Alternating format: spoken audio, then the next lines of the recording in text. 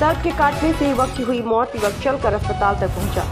कोरसा सर्प के काटने से युवक की हुई मौत, कोरसा थाना अंतर्गत आने वाले ग्राम मनिकापुर में सर्प के काटने से बीती रात राम भजन कुशवाहा, पुत्र श्री नारायण कुशवाहा, उम्र लगभग पचपन वर्ष की मौत हो गई। इनके परिजनों द्वारा बताया जा रहा है कि कल गुरुवार को राम भजन कुशवाहा अपने घर में काम कर रहे थे। उसी वक्त उन्हें सांप ने काट लिया।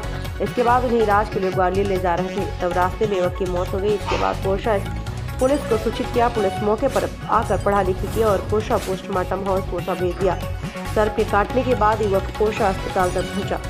सर्प के काटने के बाद युवक राम भजन कुशवाहा स्वास्थ्य केंद्र कोरसा पहुँचे। राम भजन अपने नौ वर्षीय बेटे के साथ रहते थे अकेले। मृतक राम भजन सिंह कुशवाहा अपने बेटे के साथ अकेले ही रहते हैं और उनके बड़े बड़े बेटे की पिछले वर्ष सड़क दुर्घटना में मौत हो गई। क्या नाम है आपका? जी मेरा नाम आशीष सिंह कुशवाहा ये मृतक है आपके कौन है? ये हमारे ताऊ जी हैं। क्या मामला? कैसे इनकी मृत्यु हुई है? ये मृतक का नाम है राम भजन सिंह कुशवाहा ये घर पे साफ़ सफ़ाई करते समय इनको सांप ने काट लिया था।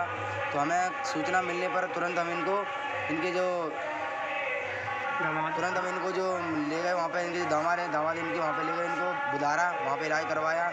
उन्होंने, वहाँ पर उन्होंने मना कर दिया कि कुछ नहीं होगा, फिर इनको ग्वालियर ले गए। ग्वालियर से लौटकर ग्वालियर ना ले जाने समय कुछ लोगों की सलाह के कारण वापस लेकर आए, हॉस्पिटल में लाए। और हॉस्पिटल में कुछ समय के बाद डॉक्टर ने जाँच करने के बाद बताया कि यह इंसान मृत्यु हो चुकी है इनकी। उन्होंने डॉक्टर साहब ने मना कर दिया कि जीवित नहीं है।